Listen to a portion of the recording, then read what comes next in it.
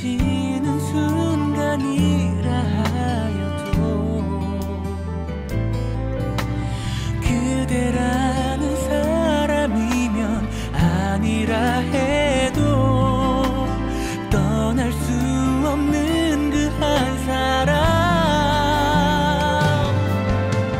사랑의 사랑의 이별을 더한다 하여도 마지막이 될 사람. life in there.